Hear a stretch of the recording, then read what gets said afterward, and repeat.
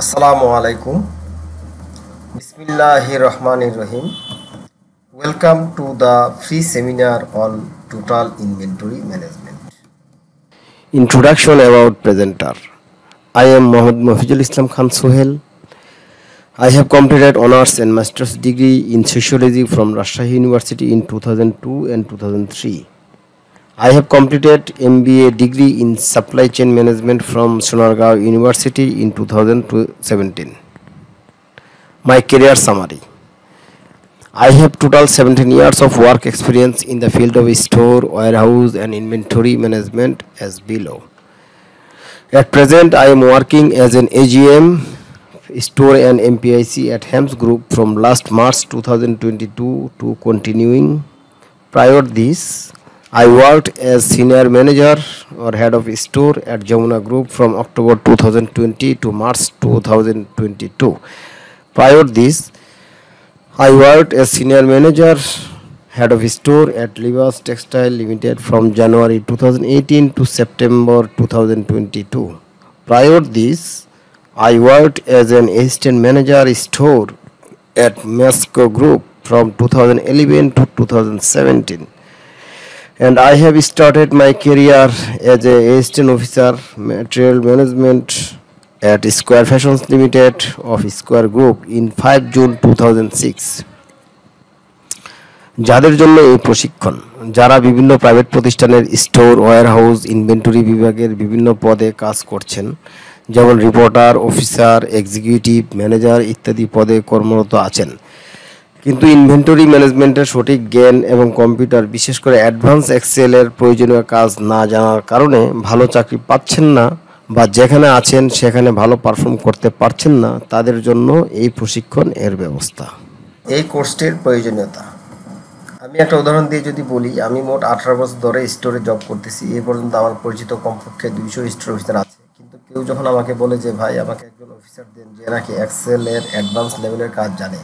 আমি হাতে গোনা দুই, তিনজন ছাড়া এমন কাউকে খুঁজে পাই না যে নাকি এক্সেলের অ্যাডভান্স লেভেলের কাজ জানে। যখন কারও ইন্টারভিউ নেই, তখন দেখা যায় যে কোনো এক ব্যক্তি স্টোরে চার থেকে পাঁচ বছর কাজ করছে। কিন্তু যদি বলা হয়, ভাই হোয়াট ইজ ইনভেন্টরি এটাই তারা বলতে পারে না। আবার যদি বলা হয় হোয়াট ইজ এমআরআর এটিও তারা বলতে পারে না। এই কয়েকদিন আগের কথা, একজন স্টোর অফিসার আমার কাছে ইন্টারভিউ দেওয়ার জন্য আসলো। সে চার বছর ফিনিশ ফেব্রিক স্টোরে কাজ করছে। কিন্তু যখন তাকে বললাম যে জিএসএম এর ফুল মিনিং কি? সে কিন্তু তা বলতে পারেনি। তার মানে কি? সে কিন্তু কাজ জানে, কিন্তু সঠিক থিওরিটিক্যাল নলেজ না থাকার কারণে তার চাকরি হচ্ছে না। তাই তার কেরিয়ার ডেভেলপমেন্ট করতে পারছে না। আবার আমি অনেক দেখেছি যে পাঁচ থেকে ছয় বছর জব করছে, দুই তিনটা কোম্পানিতে সে জব করেছে, কিন্তু একটা সিভি দিয়েছে যেখানে তার জব রেসপন্সিবিলিটি নাই, যেটা দেখে বোঝা যাবে যে সে কোন স্টোরের কাজে পারদর্শী। আবার আমি এমনও দেখেছি যে সে কাজ করছে স্টোরে কিন্তু তার সিবিতে কেরিয়ার অবজেক্টিভ হলো ইঞ্জিনিয়ারের আসেন, এবার আমরা একটা সিভি দেখি এবং এর মধ্যে কি সমস্যা আছে তা দেখি। সিভিটা হচ্ছে একজন অ্যাসিস্ট্যান্ট ম্যানেজার লেভেলের যার চাকরির বয়স বারো বছর। তো এখানে দেখি ওনার সিবিতে কি কি সমস্যা আছে। আমার জানা মতে একটা সিবির আদর্শ সিভির মোটামুটি পনেরো থেকে ষোলোটা পার্ট থাকে। তো এখন দেখি ওনার সিভিতে কয়টা পার্ট আছে। একটা, দুইটা, তিনটা, চারটা, পাঁচটা, ছয়টা, সাতটা, আটটা পার্ট আছে। তো তার মানে ওনার সিভিতে ফিফটি পার্সেন্ট পার্ট আছে ফিফটি পার্সেন্ট পার্ট নাই। ওনার অনেকগুলো ইম্পর্টেন্ট পার্টি উনি এখানে অ্যাড করেন যেমন career summary special qualifications job responsibilities একটা সিভির মেন জিনিস হচ্ছে জব রেসপন্সিবিলিটি যেটা দেখে তাকে আইডেন্টিফাই করা যাবে যে সে আসলে কোন স্টোরের কাজে পারদর্শী বা কোন সেক্টরে সে কাজে পারদর্শী, সেটাই নেই। প্রফেশনাল ট্রেনিং একজন মানুষ যখন পাঁচ ছয় বছর চাকরির বয়স হয়ে যায়, তার অবশ্যই দুই চারটা প্রফেশনাল ট্রেনিং থাকা উচিত। কম্পিউটার স্কিল একজন ম্যানেজার হয়ে কম্পিউটার স্কিল থাকবে না, এটা তো স্টোর ম্যানেজারের বেলা বিশেষ করে, এটা তো চিন্তাই করা যায় না। Communication skill additional information reference reference is a most important part of a CV of any section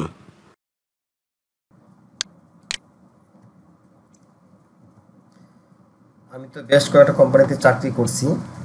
সেখান, যেখানেই আমি যাই, আমার কাছে কমপ্লেন স্যার, আমরা দশ থেকে বারো বছর চাকরি করে গেলাম। আমরা আমরা এখানে এক্সিকিউটিভ আমরা এখনও অফিসার কিন্তু আমাদের কেউ প্রমোশন দিল না। বাড়ায় না ইত্যাদি। তখন আমি বলি যে, ভাই, তো আপনাকে বেতন বাড়ায় না প্রমোশন দেয় না, তাহলে আছেন কেন? তাদের পঁচানব্বই শতাংশ লোকের একটাই কথা, স্যার রেফারেন্স ছাড়া তো চাকরি হয় না। আপনি আপনার বেতন বাড়ানো এবং প্রমোশনের জন্য কি করেছেন? স্যার, কাজ শিখছি। আপনি বর্তমানে যে কাজ করছেন, গত পাঁচ বছর আগে কি একই কাজ করতেন? জি, স্যার। আপনি যদি কোম্পানিতে গত পাঁচ বছর থেকে একই কাজ করেন, আপনাকে যে প্রত্যেক বছর পাঁচ পার্সেন্ট বা দশ পার্সেন্ট ইনক্রিমেন্ট দেয়, এটাই তো কোম্পানি আপনাকে দয়া করে দিচ্ছে। আপনি তো এটা পাওয়ার যোগ্য না। আপনি আবার প্রমোশন চাচ্ছেন? আপনি কম্পিউটারে অ্যাডভান্স এক্সেলের কাজ জানেন? না স্যার বিডি জবসে আপনার সিভি আপডেট করা আছে? না স্যার লিঙ্কডিনে আপনার সিভি আপডেট করা আছে? না স্যার আপনি এই পর্যন্ত কয়টা প্রফেশনাল ট্রেনিং করেছেন? স্যার, একটাও না। আপনি কি এমবি করেছেন? না স্যার আপনি কি পিজিডি করেছেন? না স্যার তো সব কিছুর উত্তর যদি না হয়, তাহলে আপনি কেমনে বুঝলেন যে রেফারেন্স ছাড়া চাকরি হয় না? এবার আসি মূল কথায়। এই যে আমরা যে বলি রেফারেন্স ছাড়া চাকরি হয় না, এটা আমার কাছে মনে হয় একেবারে ভিত্তিহীন একটা কথা। তার কারণ হলো, প্রথমত আমার জানা মতে কমপক্ষে দশ থেকে বিশ পার্সেন্ট চাকরি এখনও হয় কোনো রেফারেন্স ছাড়াই। দ্বিতীয়ত, ধরেন কোনো একটা কোম্পানিতে একজন স্টোর ম্যানেজার নিবে, তখন আমার মতো পাঁচজন হেড অফ স্টোরের রেফারেন্সের মাধ্যমে পাঁচটি সিভি কালেক্ট করবে। দেখা গেলো আপনি প্র্যাকটিক্যাল কাজের বাইরে অন্য আর কোনো কিছুই জানেন না, এমনকি আপনি যে কাজগুলো করেন সেগুলো গুছিয়ে বলতে পারেন না। এবং আপনি মাত্র এইচএসসি পাস অন্যদিকে দেখা গেল আরও দুইজন আছে যারা হচ্ছে ডিগ্রি পাস আবার আরও দুজন আছে যারা হচ্ছে মাস্টার্স পাস এবং তাদেরকে কাজের কথা বললে কীভাবে করে সেগুলো সুন্দরভাবে বলতে পারে। তারা কম্পিউটারও আপনার সাথে ভালো জানে। তাহলে আপনি বলেন, ওদেরকে না নিয়ে আপনাকে কেন নিবে? হ্যাঁ আমি আপনার সাথে একমত রেফারেন্স দরকার আছে। কিন্তু রেফারেন্সের পাশাপাশি আপনার আরও কিছু জ্ঞানও থাকতে হবে। সেটা হচ্ছে আপনি যে কাজগুলো করেন, সেগুলো গুছিয়ে বলতে পারার জ্ঞান। কম্পিউটার সম্পর্কে ভালো অভিজ্ঞতা থাকতে হবে, এমনকি ভালোভাবে মেল লেখাও জানতে হবে। আপনার নিজের মধ্যে লিডারশিপ কোয়ালিটি আনতে হবে। আপনি আপনার জুনিয়রদেরকে কীভাবে মোটিভেশন করবেন সেগুলো জানতে হবে। আমাদের সবার মধ্যে একটা ভ্রান্ত ধারণা আছে, সেটা হচ্ছে পড়াশোনা করছি, চাকরি পাওয়ার জন্য। চাকরি পেয়ে গেছি, আর পড়াশোনা করা লাগবে না। বছর বছর কোম্পানিতে সময় পার করব, আর কোম্পানি মালিক আমাকে বেতন বাড়াবে, আর প্রমোশন দিবে, এটাই আমরা চাই। না ভাই, যারা এই ধারণার মধ্যে আছেন, তারা সম্পূর্ণ ভুলের মধ্যে আছেন। এসব বাদ দেন। বাদ দিয়ে চাকরি পাওয়ার জন্য পড়াশোনা করেছেন, ঠিক আছে। সেটা চাকরি পাওয়া পর্যন্ত। কিন্তু আপনি যখন আপনার কেরিয়ার ডেভেলপমেন্ট চাইবেন, তখন আপনাকে অবশ্যই প্রফেশনাল পড়াশোনা করতে হবে। না হলে আপনার কেরিয়ার ডেভেলপমেন্ট হবে না। যেমন, আমি কিন্তু রাজশাহী বিশ্ববিদ্যালয় থেকে অনার্স এবং মাস্টার্স কমপ্লিট করে চাকরি শুরু করেছিলাম এবং চাকরি করার পাঁচ থেকে ছয় বছর পর মনে হলো আমার এমবিএ ডিগ্রি নেওয়া দরকার। এবং আমি তখন খুঁজতে থাকলাম যে বাংলাদেশে কোন বিশ্ববিদ্যালয় স্টোর রিলেটেড এমবিএ ডিগ্রি দেয়। তখন আমি অনেক খোঁজাখুঁজি করার পর স্টোরের উপর এমবিএ ডিগ্রি পাই না। তখন এক পর্যায়ে আমি সিদ্ধান্ত নিলাম ম্যানেজমেন্ট অথবা এইচআরের উপরে এমবিএ করব। কিন্তু আল্লাহ পাকের অশেষ মেহরবানিতে চার থেকে পাঁচ বছর পরে জানতে পারলাম যে সোনারগাঁ বিশ্ববিদ্যালয় সাপ্লাই চেন ম্যানেজমেন্টের উপরে এমবিএ ডিগ্রি দিচ্ছে। তখন আমি দুই হাজার পনেরো সালে ভর্তি হয়ে দুই হাজার সতেরো সালে সাপ্লাই চেন ম্যানেজমেন্টের উপর এমবিএ ডিগ্রি কমপ্লিট করি। শেষ কথা হলো যে, আপনি যদি আপনার কেরিয়ার ডেভেলপমেন্ট করতে চান, তাহলে আপনার কাজের পাশাপাশি আপনাকে আরও অনেক কিছু জানতে হবে, শিখতে হবে, যা আমি আমার এই ট্রেনিংয়ে জানাব এবং শেখানোর চেষ্টা করব।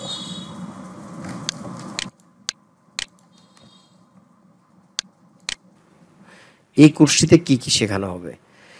আমার এই কোর্সটি তিন ভাগে ভাগ করা হয়েছে, যেমন প্রথম এক নাম্বার ইনভেন্টরি অথবা স্টোর ম্যানেজমেন্ট সম্পর্কে থিওরিটিক্যাল নলেজ দুই নাম্বার ইনভেন্টরি ম্যানেজমেন্ট সম্পর্কে যথাযথ কম্পিউটারের নলেজ যেমন MS Word MS Excel advance level Google sheets and power point শেখানো হবে।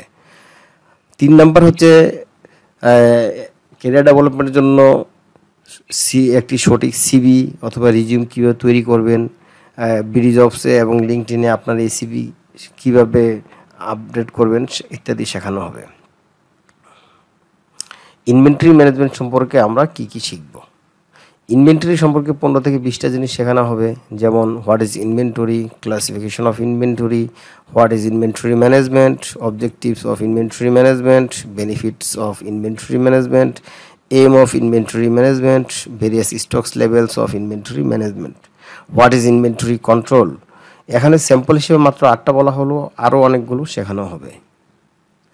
স্টোর এবং ওয়ারহাউস সম্পর্কে দশ থেকে পনেরোটি জিনিস শেখানো হবে। ইয়ান স্টোর সম্পর্কে বিস্তারিত ধারণা, এখানে দশ থেকে পনেরোটি বিষয় শেখানো হবে। যেমন ইয়ান স্টোর কী, এর দায়িত্বগুলো কি কি, কীভাবে কাজ করতে হবে, কি কি রিপোর্ট করতে হবে ইত্যাদি। গ্রাফেব্রি স্টোরও ইয়ান স্টোরের মতো দশ থেকে পনেরোটি বিষয় শেখানো হবে। কেমিক্যাল স্টোর সম্পর্কেও বিস্তারিত ধারণা, এখানেও দশ থেকে পনেরোটি বিষয় শেখানো হবে। ফিনিশ ফেব্রিক স্টোর সম্পর্কে বিস্তারিত ধারণা ওভেন এবং ডেনিম ফেব্রিক স্টোর সম্পর্কে বিস্তারিত ধারণা ট্রিমস এবং এক্সরে স্টোর সম্পর্কে বিস্তারিত ধারণা জেনারেল এবং স্পেয়ার পার্টস স্টোর সম্পর্কে বিস্তারিত ধারণা শিপমেন্ট সম্পর্কে বিস্তারিত ধারণা লিন ম্যানেজমেন্ট এবং লিন ইনভেন্টরি সম্পর্কে দশ থেকে পনেরোটি বিষয় যেমন five S kaizen kanban gemba ইত্যাদি শেখানো হবে। আপনি যখন একজন ম্যানেজার হবেন, তখন আপনাকে অবশ্যই মোটিভেশন শিখতে হবে। আর আপনার জুনিয়রদেরকে মোটিভেট করে রাখতে হবে। এই জন্য যা যা দরকার তা শেখানো হবে।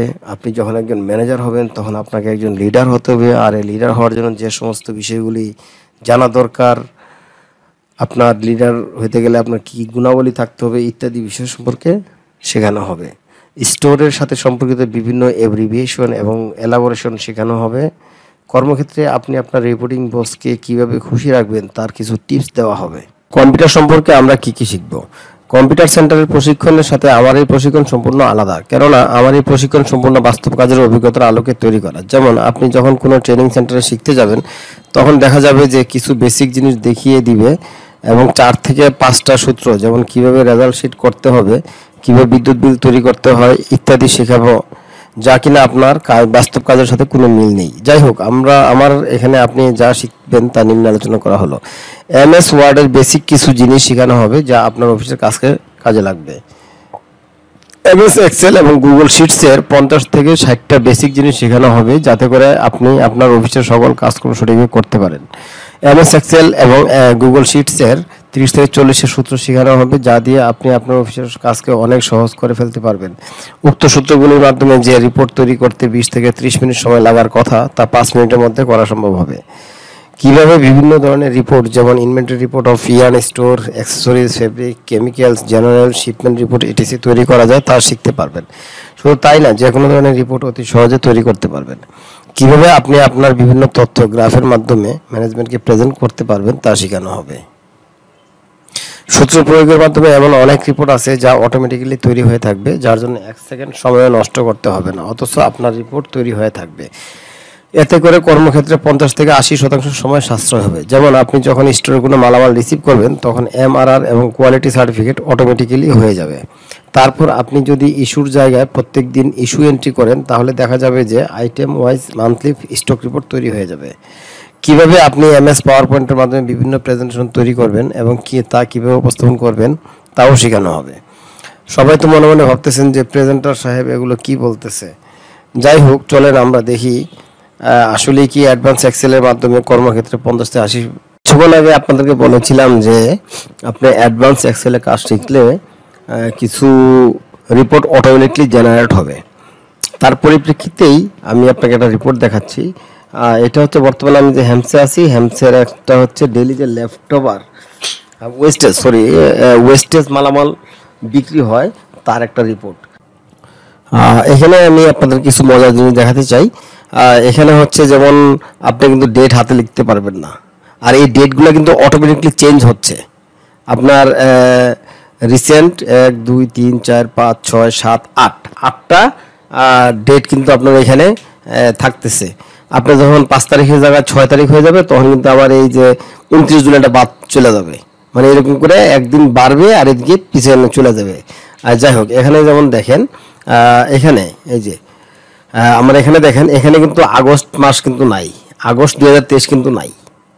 হ্যাঁ এখানেও কিন্তু আমি, ওইখানে যখন আমি ডেট দিব আগস্ট মাস তখন কিন্তু এখানে আবার এই মানটা যুগ হয়ে যাবে। আগস্টের মান আগস্ট দু হাজার তেইশ যুগ হয়ে যাবে। এটা আপনি কিছু করা লাগবে না, এটা অটোমেটিকলি হবে। এই যেমন দেখেন, আমি পহেলা আগস্ট যদি একটা মাল রিসিভ করি, এই দেখেন, আমি ডেট সিলেক্ট করছি, মাসের নাম, বছরের নাম কিন্তু সে অটো নিয়ে চলে আসছে। ঠিক আছে? দেখেন আচ্ছা এইবার হচ্ছে দেখি এখানে এখানে কিন্তু না, আসে নাই। জাস্ট আমি একটু রিফ্রেশ করব রিফ্রেশ করলে চলে আসবে। এই যেমন দেখেন, এই যেমন দেখেন, আগস্ট দুই হাজার তেইশ চলে আসছে। এই যে আমি যদি এখন শুধু আগস্টের রিপোর্ট দেখতে চাই, এই যে আগস্টে কোনো কিছু ডেলিভারি হয় নাই। এই জন্য সব ব্ল্যাঙ্ক দেখাচ্ছে। আপনি আবার যখন এই যে মে দু হাজার তেইশ দিবেন, মে দু হাজার তেইশে যা যা গেছে, এই রিপোর্ট চলে আসবে। তো আমি যেহেতু আগস্টে একটা ডাটা এন্ট্রি দিয়ে দেখাবো আচ্ছা ঠিক আছে, ওকে, আমি একটা যে কোনো একটা ডাটা এন্ট্রি দিয়ে দেখাই। এখানে মনে করেন যে কাল্পনিক আমি একটা নাম্বার দিলাম। এখানে এই যে আইটেম নেম আইটেম নেমও কিন্তু আপনি লিখতে পারবেন না। এটাও কিন্তু সফটওয়্যারের মতো আপনাকে ড্রাগ করে নিয়ে আসতে হবে। এই যেমন এমটি জুট রাইস ব্যাগ এই যে এখানে আমি এটা ব্যাগ দিয়ে দিলাম। এটা mode of unit KG. Weight quantity মনে করেন যে আমার হচ্ছে দুই হাজার পাঁচশো ছিচল্লিশ name of party name of party S Fashion এটা গেছে হচ্ছে, মনে করেন যে এখানেও ড্রাগ করে আমার এই ইউনিটটা সিলেক্ট করতে হবে। আর হ্যামস গার্মেন্টস লিমিটেড এই তো। দেখেন, এখন দুই হাজার পাঁচশো ছেচল্লিশ কেজি আমার এখানে দেখাবে। দেখি, দেখে, দেখায় কিনা।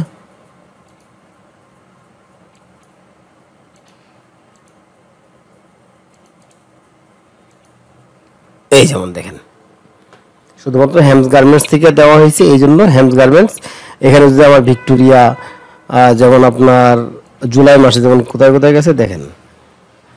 এই যে, জুলাই মাসে কিন্তু একটা, দুইটা, তিনটা, চারটা ইউনিট থেকে মাল গেছে, এই জন্য চারটা। মানে মোট কথা এখানে আপনি যেই কয়টা ইউনিটে মাল যাবে, সেই কয়টা সেখানে শো করবে। এটা অ্যাজ লাইক অ্যাজ ইআরপির মতো। এই আপনার ম্যানেজমেন্ট যখন রিপোর্ট চাবে যে আইটেম ওয়াইজ ভাই আমার কোন অমুক মাসের রিপোর্টটা দাও। এটা হচ্ছে জাস্ট আপনি জাস্ট এখানে আসবেন মনে করেন যে বলল যে মে দু হাজার তেইশের রিপোর্টটা দাও তো, কোন ইউনিটে কোন মাল কতটুকু গেছে, এই যে, আপনি জাস্ট এটা বের করে প্রিন্ট করে দিয়ে দিবেন। দ্যাটস ইট আপনার কাজ শেষ, আপনার রিপোর্ট দেওয়া শেষ। আচ্ছা ডেট এন্ড চালানো যাই দেখি, আমি তো জুলাই দিছি এই যে এখানে আসে নাই তো এখানে জাস্ট একটা রিফ্রেশ দিতে হবে। রিফ্রেশ দিলে হবে ইনশাল্লাহ। দেখি, এই যে আগস্ট মাস চলে আসছে। দেখি আগস্ট মাসে কি গেছে। আগস্ট মাসে শুধুমাত্র একবারই মাল গেছে। এই যে, পয়লা আগস্ট দুই হাজার তেইশ। তো এইভাবে কিন্তু আসলে আমরা বিভিন্ন ধরনের রিপোর্ট শুধু এখানে দুইটা আইটেম বেসিস দেখানো আছে। আপনি এখানে এই যে পার্টি ওয়াইজ আপনি মনে করেন যে শুধুমাত্র এই যে আইটেম ওয়াইজ আপনি ইউনিট ওয়াইজ হ্যাঁ আপনার এভরিথিং রিপোর্ট কিন্তু আপনি এখান থেকে জেনারেট করতে পারবেন। যার করার জন্য আপনার এক্সট্রা কোনো কাজই করতে হবে না। আমি যে বলেছিলাম যে তিরিশ থেকে চল্লিশ মিনিটের যে কাজ পাঁচ মিনিটে করবেন এখন আমি একটা এক্স এক্সরিজ রিপোর্টের মাধ্যমে সেটা আমি আপনাদেরকে বোঝানোর চেষ্টা করব। আমরা যারা এক্সরিজ স্টোরে কাজ করি তারা যখন একটা অর্ডার পায় অর্ডার পাওয়ার পর অনেক সময় দেখা যায় যে আমাদেরকে একটা এক্সরিজ চেক লিস্ট তৈরি করতে হয়। অর্ডার কোয়ান্টিটি কত তারপর হচ্ছে রিকোয়ার্ড কোয়ান্টিটি কত রিসিভ কোয়ান্টিটি কত এরকম একটা রিপোর্ট তৈরি করতে হয়। এতে করতে যে আমাদের অনেক সময় নষ্ট হয়। আমার এই লাইফে সবচেয়ে বেশি জটিল অ্যাকচুয়ালি রিপোর্ট করতে গিয়ে আমি দেখছি যে কিউবাস বাইরের আমি তখন মাস্কোতে ছিলাম। কিউবাস বাইরের রিপোর্টটা আমাকে অনেক জটিল, আমাকে অনেক চিন্তা ভাবনা করতে হয়েছে এখানে দেখেন, আমি যখন, এই যে আমি একটা অর্ডার নিয়ে কাজ করতেছি আপনাদের দেখানোর জন্য, এই যে এই অর্ডারটা সেভেন জিরো জিরো আমি যখন এই অর্ডার নাম্বারটা স্টাইল নাম্বারটা আমি এইখানে দিয়ে দিব। দেখেন, এখানে এই যে, আমি যখন এখানে অর্ডার নাম্বারটা দিব, দেওয়ার সাথে সাথে যে হচ্ছে স্টাইল নাম্বার এবং ডেসক্রিপশন চলে আসবে, এটা কনসার্ন মার্চেন্ডাইজারকে সেটা চলে আসবে। যেমন দেখেন, এই দেখেন, এই যে এখানে মিস্টার রবি কনসার্ন মার্চেন্ডাইজার চলে আসছে। আর এটার বাইরের নাম হচ্ছে এটা বেসিক নেম হচ্ছে লেডিস লেগিংস আচ্ছা এখন আমরা এখানে দেখেন সাইজ ব্যাকগ্রাউন্ডটা কিন্তু অনেক জটিল। এই যেমন জিরো জিরো ওয়ান প্রিন্টের কথা যদি বলি দেখেন, এখানে প্রত্যেকটা সাইজেরই তিনবার করে দেওয়া আছে। যেমন এক স্মলের একশো বিশ পিস একবার, একশো ছাপ্পান্ন পিস একবার, ছিয়াত্তর পিস একবার। তাহলে এখানে টোটাল কোয়ান্টিটি কত? এক স্মলের তিনশো বাউন্ন পিস তো এটা যদি আমি ম্যানুয়ালি করতে যাই এক্সরেজ রিপোর্টটা তাহলে আমার অনেক সময়ের ব্যাপার। আমাকে অনেক সময় ব্যয় করতে হবে, কারণ হচ্ছে প্রত্যেকটা আইটেমেরই তিনটার যোগফল করে করে আমাকে নিতে হবে। কিন্তু আমি এখানে এটা না করে জাস্ট আমি এটা কপি করে সরি সবগুলা কালার প্রত্যেকটা কালারের কিন্তু তিনটা করে সাইজ আছে। এই যেমন দেখেন, এই যে ব্ল্যাকের নাইট কালারের ও আচ্ছা হোয়াইট কালারের এই যে হোয়াইট কালারেরও অ্যাক্সিস মলের তিনবার কোয়ান্টিটি আছে, এগারোশো একাত্তর পিস তো যাই হোক, আমি এত জটিল করতে চাই না। আমি খুব সহজে জাস্ট আমি কপি করব এটা, এই ডাটাটা আমি কপি করব। কপি করে আমি জাস্ট এখানে দিয়ে দেব। এই দেখেন, দিয়ে দিলে আমার কি হয়েছে এই যে এখানে আমার যে হ্যাঁ আমার সুইং সেট কিন্তু এখানে কালার নেম যতবারই থাক না কেন, আমার কিন্তু ব্ল্যাকের জন্য কিন্তু একবারই এক ধরনের ব্ল্যাক কালারই শুধু লাগবে আমার। ঠিক আছে? এখানে কিন্তু ব্ল্যাক অনেকবার দেওয়া আছে হোয়াইট অনেকবার দেওয়া হয়েছে। তো যাই হোক, আমার টোটাল ব্ল্যাকের যেমন, এখন আমি যদি বলি টোটাল ব্ল্যাকের কোয়ান্টিটি কত? তেরো হাজার। এই যে ব্ল্যাকের কিন্তু টোটাল তেরো হাজার। আর টোটাল সব কালার মিলে হচ্ছে, এই যে চল্লিশ হাজার নশো সাতানব্বই পিস এই যেমন দেখেন, আমি দেখাই দিই কোয়ান্টিটিটা এই যে চল্লিশ হাজার নশো সাতানব্বই পিস তো টোটাল কোয়ান্টিটি এখানে অটো চলে আসছে। টোটাল কালার ওয়াইজ কিন্তু এখানে চলে আসছে। আচ্ছা এবার আরেকটা জিনিস দেখাই। এই যে আমি এখানে শুধুমাত্র একটা কনজামশন দিয়ে দিলাম। সুতার কনজামশন করতে একশো আশি মিটার করে। এই দেখেন, এটা কিন্তু রেকর্ড কোয়ান্টিটি তৈরি হয়ে গেছে অলরেডি আমি একশো আশি মিটার করে দেওয়াতে রিকোয়ার্ড কোয়ান্টিটি তৈরি হয়ে গেছে। আমি এখানে ফিলামেন্ট থ্রেড মনে করেন যে আশি মিটার করে দিলাম। এই দেখেন। আমি কিন্তু একটা ঘরে শুধুমাত্র কোয়ান্টিটি বসাচ্ছি, সবগুলো কিন্তু অটো হয়ে যাচ্ছে এবং এখান থেকে ক্যালকুলেশন করে সে কালার ওয়াইজ কনজামশন বের করে নিচ্ছে। আচ্ছা এবার আরেকটা মজার জিনিস দেখাই। এখানে আমার, যেমন ব্ল্যাক কালারের সুতা তেরো হাজারের পর্যন্ত জন্য আমার রিকোয়ার্ড হচ্ছে পাঁচশো পঁচাশি কোণ আমি মনে করেন যে পাঁচশো পঁচাত্তর কোণ রিসিভ করলাম। তাহলে এই যে এখানে দশ কোণ আমার কিন্তু ব্যালেন্স রেড কালার মানে হচ্ছে ব্যালেন্স আচ্ছা। আবার আমি যদি এখানে একশো আশির জায়গায় একশো নব্বই রিসিভ করি তাহলে দেখেন এটা লেখা আসতেছে ওকে এবং গ্রিন কালার দ্যাট মিন্স কি? আপনি যখন এখানে রেড কালার থাকবে তখন বোঝা যাবে যে এই কোয়ান্টিটি হচ্ছে আমার বাকি আছে। আর যখন গ্রিন কালার হবে তখন বুঝতে হবে যে আমার একশো আশি মানে যে কোয়ান রেকর্ড করে তার চেয়ে বেশি চলে আসছে। তো এরকম ভাবে দেখেন, এখানেও যদি আমি ব্ল্যাকের দুইশো, একশো পঁচাশি, পঁচানব্বই গুণ যদি দিই তেরো গুণ ব্যালেন্স আছে। এখানে যদি আমি পঁচাত্তর গুণ দিই, তার মানে সে বলতেছে, না, আমার এই, এটা রেকর্ড চলে আসছে। আচ্ছা এবার যদি টোয়েন্টি বাই টু আমি দেখি, এখানে আমি যদি বিশ মিটার করে দিই, এই যে এখানেও কিন্তু সেম ঘটনা ঘটছে, ঘটতেছে। আচ্ছা এইবার আসেন, এই যে মেন নেম লেভেল নেম লেভেলের টোটাল কোন চল্লিশ হাজার নশো সাতাত্তর পিস এটার সাথে সিক্স পার্সেন্ট অ্যাড করে দিছি। এই যে অটোমেটিকলি রিকোয়ারমেন্ট তৈরি হয়ে গেছে। এখানেও যদি আমি চুয়াল্লিশ হাজার দিই, তাহলে ওকে দেখাবে। আর আমি যদি এখানে বিয়াল্লিশ হাজার একশো পঞ্চাশ দিই, তার মানে এই যে তেরোশো সাত পিস ব্যালেন্স দেখাচ্ছে। তো এটা দেখতে পেলেন যে যে রিপোর্টটা করতে আমার মিনিমাম এক ঘণ্টা এক ঘণ্টা বাদ দিলাম মিনিমাম আধা ঘণ্টা লাগার কথা, সেই রিপোর্টটা কিন্তু আমার নিমিশেই দুই, চার, পাঁচ মিনিটের মধ্যে কিন্তু আমার রিপোর্টটা জেনারেট হয়ে গেছে। তারপরে এই যে এখানে আরেকটা জিনিস বারকোড লেভেল বারকোড লেভেল কিন্তু আপনার এই যে PO wise colour wise size wise কিন্তু অটো নিয়ে নিছে। এই যে সুইং থ্রেড বেলা টোটাল কোয়ান্টিটি নিয়ে নিছে, আর এই বারকোড লেভেলের বেলায় কিন্তু সে ঠিকই সাইজ ওয়াইজ নিয়ে নিছে। তারপরে হচ্ছে বারকোড লেভেল তারপরে হচ্ছে আপনার যে প্রাইস স্টিকার প্রাইস স্টিকারও সেম বারকোডের মতোই কালার ওয়াইজ পিও ওয়াইজ এবং সাইজ ওয়াইজ তো এইগুলো কিন্তু আমি কিছুই করি নাই। আমি জাস্ট হচ্ছে এখানে পার্সে অর্ডার ওয়াইজ খালি শুধু কোয়ান্টিটিটা আমি এখানে বসাই দিছি। আর বাকি রিপোর্ট কিন্তু সে নিজে নিজেই জেনারেট করে দিছে। তো আশা করি বুঝতে পারছেন যে আসলে আধা ঘণ্টার কাজ কীভাবে পাঁচ মিনিটে করতে হয় এবং আপনি অ্যাডভান্স এক্সেলের কাজ যদি পারেন, তাহলে এরকমভাবে আপনার কাজকে অনেক সহজ করে ফেলতে পারবেন।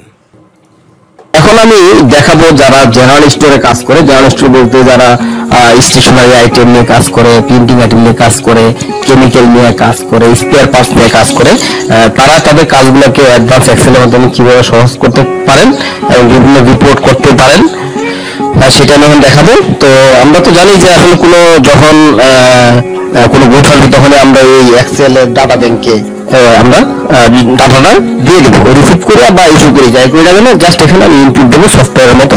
দেওয়ার পর আমাকে এমআরআর রিপোর্ট তৈরি করতে হয় এমআরআর রিপোর্টটা আসলে অটোমেটিক হয়ে যাবে। তারপরে হচ্ছে আমাদের যেটা করতে হয়, একটা বিল কার্ড তৈরি করতে হয় item wise date wise receive issue and balance এটাও কিন্তু আপনার অটোমেটিকলি হয়ে যাবে। আপনি যখন ডাটা ব্যাংকে রিসিভ ইস্যু করবেন, এখানে অটোমেটিকলি হয়ে যাবে। তারপরে আমরা একটা সামারি রিপোর্ট পাইতে পারি। এই যেমন দেখেন হেড সিসল যদি বলি, দিন কার্ডে কি আছে আমার? টোটাল রিসিভ চুয়াত্তর ইস্যু ষাট ব্যালেন্স চোদ্দ। ঠিক জাস্ট এই সামারি রিপোর্টটা এখানে আসবে। এই যে, চুয়াত্তর, ষাট, চোদ্দ। তারপর আমরা মান্থলি কনজামশন বের করতে পারি যে আসলে এই হেক্সিসলটা কোন মাসে কত পিস করে গেছে, সেটার একটা ডাটা দেখা আছে জুনে, জুলাই সেপ্টেম্বর, অক্টোবর, নভেম্বরে কত পিস ইস্যু হয়েছে।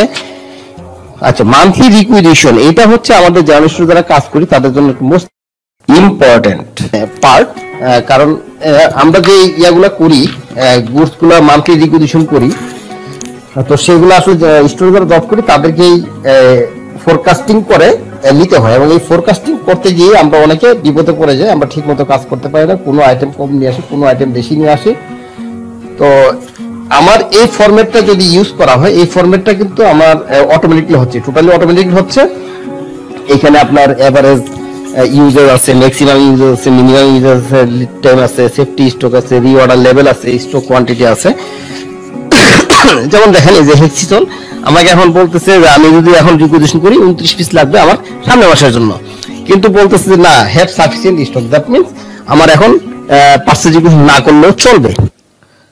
এখানে একটা লক্ষণীয় ব্যাপার যে দেখেন, যখনই লেখা আসতেছে হ্যাভ সাফিসিয়েন্ট স্টক লেখাটা আসতেছে কিন্তু গ্রিন কালারে আর যখনই লেখা আসতেছে নিট পারচেজ তখন কিন্তু কালারটা হয়ে যাচ্ছে রেড দ্যাট মিনস হচ্ছে রেড কালার হইলেই আমাদেরকে পারচেজ রিকুইজিশন করতে হবে। তো এটা দেখে কিন্তু আমরা আসলে বুঝতে পারব যে আমার কত, আমার কি রিকুইজিশন করতে হবে, কি হবে না, এবং কত পিস সে নিজেই কিন্তু বলে দিচ্ছে আমাকে যে কত পিস রিকুইজিশন করতে হবে সামনের মাসের জন্য। তো এটা নিয়ে আমার কোনো টেনশন করার কোনো দরকার নাই। আচ্ছা month end date wise issue আপনি চাইলে এখানে সব মাসই চলে আসবে। আপনি যদি স্পেসিফিক কোনো মাসে দেখতে চান, সেটাও দেখতে পারবেন। সমস্যা নাই। আচ্ছা তারপরে হচ্ছে রিকুইজিশন ওয়াইজ ইস্যু আমরা ডেইলি রিকুইজিশন ছাড়া তো কোনো গুডস ইস্যু করি না। তো আমরা যে ইস্যু নাম্বারগুলো দেবো, ওই নাম্বার এগেনস্টে ডেট ওয়াইজ কি কি ইস্যু করলাম, তার একটা রিপোর্ট চলে আসবে এখানে। ঠিক তেমনি চালান, আমরা যখন কোনো গুডস রিসিভ করি তখন কিন্তু চালানের মাধ্যমে রিসিভ করি। তো এখানেও ঠিক চালান ডেট এবং কি কি ওই চ্যানেলে কি কি গুডস রিসিভ করছি তার একটা রিপোর্ট আমরা পেয়ে যাব। আমি একটু আগে আপনাদেরকে বলেছিলাম যে আপনারা ম্যানেজমেন্টকে গ্রাফের মাধ্যমে অথবা চার্টের মাধ্যমে কীভাবে রিপোর্ট দিবেন, সেটা অটোমেটিকলি হবে, সেটা এখানে দেখাবো।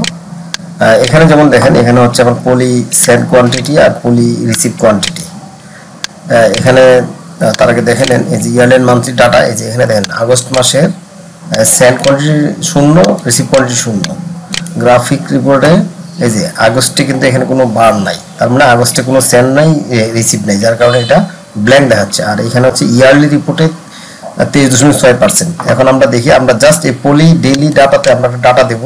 মনে করেন যে বারোশো ছাপ্পান্ন পিস দিলাম সেন্ট আর রিসিভ করলাম হচ্ছে তিনশো বিয়াল্লিশ পিস তিনশো পঁয়ষট্টি পিস এই যে এখানে উনত্রিশ দশমিক ছয় পার্সেন্ট এখন দেখেন এই যে বারোশো ছাপ্পান্ন আর তিনশো পঁয়ষট্টি, এটা এই যে মান্থলি ইয়ারলি ডাটাতে চলে আসবে। এই যে চলে আসছে। আর গ্রাফিক্যাল রিপোর্টে এই যে যেমন দেখেন, এই দেখেন, আগস্ট আগে একটা জিরো কোনো বার ছিল না, এখন অলরেডি উনত্রিশ দশমিক জিরো সিক্স পার্সেন্ট হয়ে গেছে। এই যে এই যে পার্সেন্টেজটা এখানে সে শো করতেছে, উনত্রিশ দশমিক ছয় পার্সেন্ট আর হচ্ছে আপনার ইয়ারলি ডাটাতে ছিল তেইশ দশমিক ছয় পার্সেন্ট হয়ে গেছে তেইশ দশমিক সাত পার্সেন্ট তো গ্রাফিক্যাল ডাটা আসলে এই জন্য ব্যবহার করা হয় যে গ্রাফের মাধ্যমে আসলে ম্যানেজমেন্ট খুব সহজে অনেক বড় বড় রিপোর্ট খুব সহজে বুঝতে পারে। তো এই ডাটাগুলো এই রিপোর্টগুলো এইভাবে তৈরি করা যায়।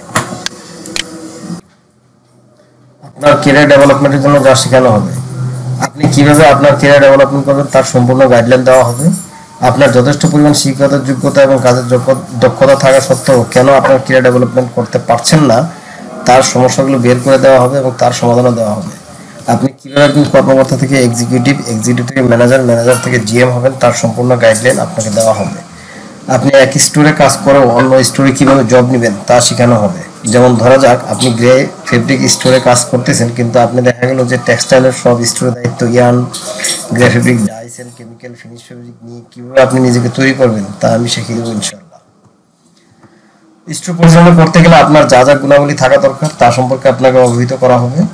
আপনি স্টোর পরিচালনার জন্য যে সমস্ত টুলসগুলো দরকার তা শেখানো হবে। আপনি যখন ম্যানেজার অথবা জিএম হবেন, তখন আপনার বিভিন্ন স্টোরগুলি কীভাবে ম্যানেজ করবেন তা শেখানো হবে। আপনাকে একজন ভালো মানের ম্যানেজার অথবা লিডার হতে হলে আপনাকে কী কী গুণাবলী প্রয়োজন তা শেখানো হবে। আপনাকে কোনো স্টোরের ইন্টারভিউ বোর্ডে সম্ভাব্য কী কী ধরনের প্রশ্ন করা হবে এবং তার উত্তর কী কীভাবে দিবেন তা শেখানো হবে।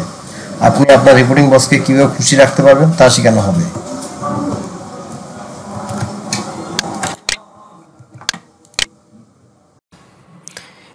ইম্পর্টেন্স অফ এ সিবি একটি সিবি হলো আপনার মূল দক্ষতা, অভিজ্ঞতা এবং যোগ্যতার একটি সংক্ষিপ্ত সারাংশ। এই সিবি আপনাকে একজন সম্ভাব্য নিয়োগকর্তার সাথে নিজেকে পরিচয় করে দিবে এবং কেন আপনি একজন দুর্দান্ত প্রার্থী তা তাদের দেখানোর এটাই প্রথম সুযোগ। নিয়োগকর্তাদের প্রতিটি শূন্য পদের জন্য বাছাই করার জন্য দশ অথবা শতাধিক সিবি থাকতে পারে। সেই ভিড় থেকে আলাদা একটি সিবি তৈরি করা গুরুত্বপূর্ণ। কোনো চাকরি পাওয়ার জন্য আমাদেরকে প্রথমে একটি ইন্টারভিউ দিতে হয়, আর এই ইন্টারভিউতে ডাক পাওয়ার জন্য একটি সঠিক সিবি অনেক বেশি গুরুত্বপূর্ণ। আপনার একটি পরিপূর্ণ রিজিউমি অথবা সিবি কীভাবে তৈরি করবেন তা শেখানো হবে। আপনার রিজিউমি অথবা সিভি কীভাবে বিডি জবসে সঠিকভাবে লিখবেন তা শেখানো হবে। আপনার ভিডিও রিজিউমি সঠিকভাবে কীভাবে করতে হবে তা শেখানো হবে। আপনার রিজিউমি অথবা সিভি কীভাবে লিঙ্কড ইনে লিখতে হবে তা শেখানো হবে। আপনি লিঙ্কড ইনে কীভাবে কালেকশন বাড়াবেন তা শেখানো হবে। আপনি আপনার কর্মক্ষেত্রে কীভাবে আপনার রিপোর্টিং বস এবং ম্যানেজমেন্টকে খুশি রাখবেন তা শেখানো হবে। Preparation of a job interview চাকুরির সাক্ষাৎকার কি? সঠিক ইন্টারভিউ শিষ্টাচার অনুশীলন করার উপায়। কোন কোন স্টোরের জন্য সম্ভব কী ধরনের প্রশ্ন হতে পারে এবং এর সম্ভব উত্তর কী হতে পারে তা শেখানো হবে। চাকুরির সাক্ষাৎকারে কি করা যাবে আর কি করা যাবে না।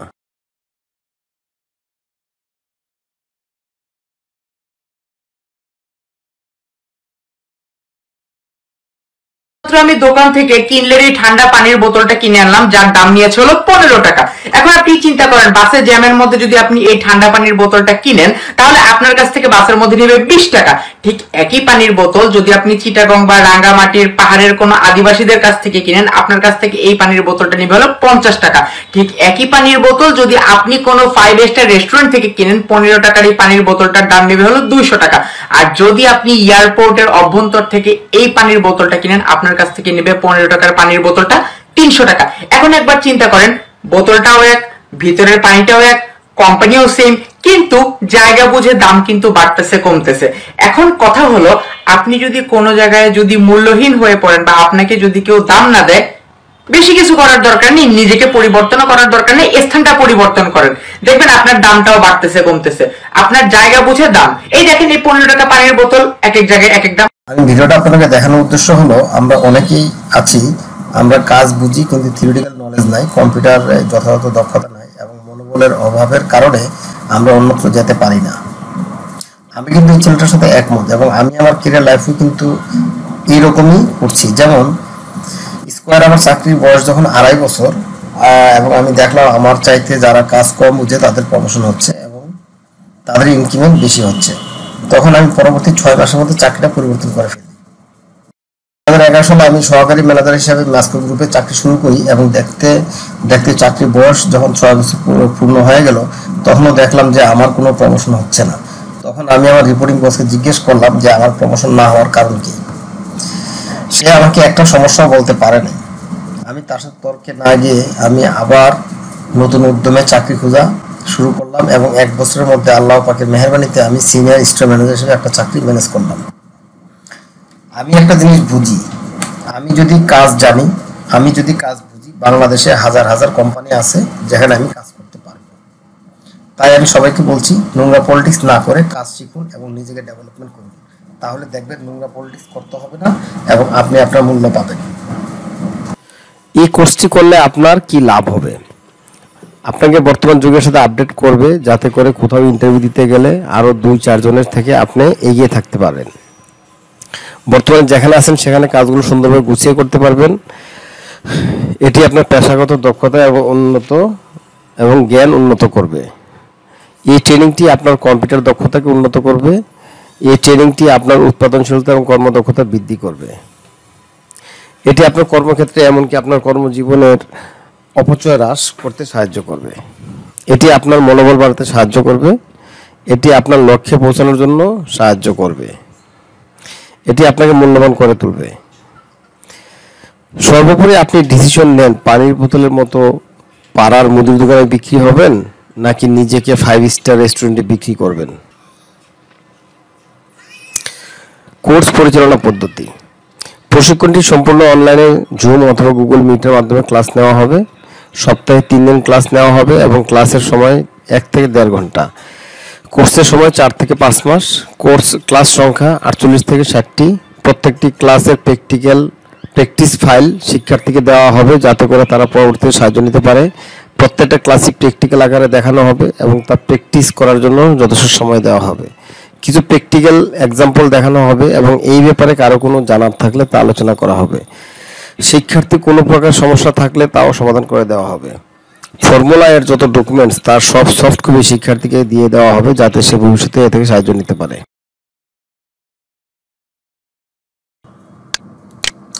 এবার আসি কোর্স ফি সম্পর্কে।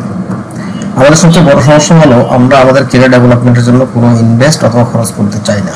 আমার কেরিয়ার ডেভেলপমেন্টের জন্য এই পর্যন্ত কমপক্ষে তিন লক্ষ টাকা খরচ করতে হয়েছে। যেমন এমবিএ করতে প্রায় দুই লক্ষ টাকা লেগেছে। সময় বিভিন্ন ট্রেনিং করতে আরও এক লক্ষ টাকা খরচ হয়েছে। আপনারা আপনাদের কেরিয়ার জন্য কত টাকা খরচ করেছেন? যাই হোক বিডি জবসে আপনি একদিনের একটি ট্রেনিং করলে আপনাকে দিতে হবে একত্রিশশো পঞ্চাশ টাকা। আমরা যদি প্রতি ঘণ্টার খরচ বের করি, তাহলে প্রতি ঘণ্টার খরচ পড়ে তিনশো সাতানব্বই দুশো পঁচাত্তর টাকা। আর তার মানে বিডি জবসে ট্রেনিং করতে প্রতি ঘণ্টা খরচ হয় তিনশো সাতানব্বই টাকা। সেই হিসাবে আমি আপনাদেরকে ট্রেনিং করাবো কমপক্ষে আটচল্লিশ ঘণ্টা। আমি যদি আটচল্লিশ ঘন্টাও ধরি, তাহলে আমার ট্রেনিং ফি আসে উনিশ হাজার বিরানব্বই টাকা। আপনাদের ভয় পাওয়ার কোনো কারণ নাই, আমি এত টাকা নেব না। আমি যদি আপনাদেরকে পঞ্চাশ পার্সেন্ট ডিসকাউন্ট দিই, তাহলে আসে ন হাজার পাঁচশো ছেচল্লিশ টাকা। আর আমি যদি আপনাদেরকে সত্তর পার্সেন্ট ডিসকাউন্ট দিই, তাহলে আসে পাঁচ হাজার সাতশো আঠাশ টাকা। পাঁচ হাজার সাতশো আঠাশ টাকা কেমন যেন একটা অমিল মনে হচ্ছে। ঠিক আছে, আমি এটাকে সমান সমান করে পাঁচ হাজার টাকা করে দিলাম। বিশেষ দ্রষ্টব্য, আপনারা যদি মনে করেন কোর্সটিকে ফ্রি করবেন তারও ব্যবস্থা আছে। তার জন্য আপনাকে একটু কষ্ট করতে হবে। তা হলো আপনি যদি পাঁচজনকে রেফার করতে পারেন মানে পাঁচজনকে রেজিস্ট্রেশন করাতে পারেন, সেই ক্ষেত্রে আপনি কোর্সটি সম্পূর্ণ করতে, সম্পূর্ণ ফ্রি করতে পারবেন।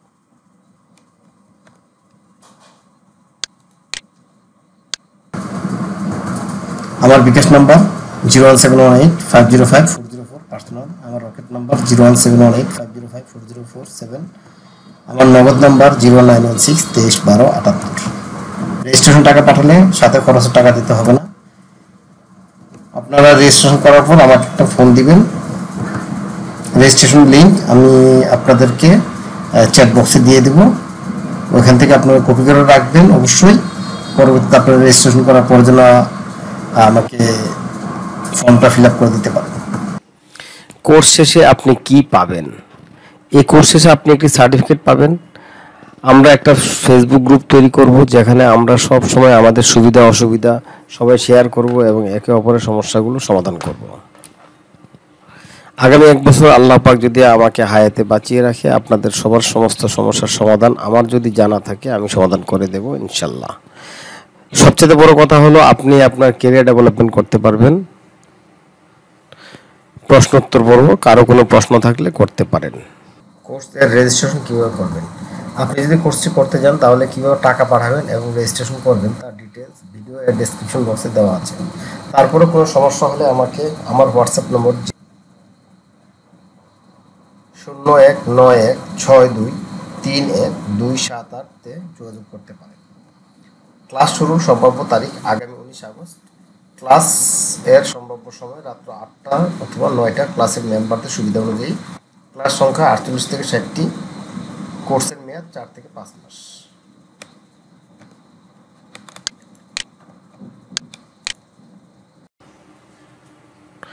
আপনাদের সকলকে অনেক অনেক ধন্যবাদ আমার এই সেশনটি ধৈর্য সহকারে দেখার জন্য এবং আপনাদের সকলের উন্নত কেরিয়ার কামনা করে আজকের মতো এখানেই শেষ করলাম। আপনারা আমার কোনো কথায় কষ্ট পেয়ে থাকলে আমি আন্তরিকভাবে দুঃখিত এবং দয়া করে মাফ করে দিবেন। ধন্যবাদ সবাইকে।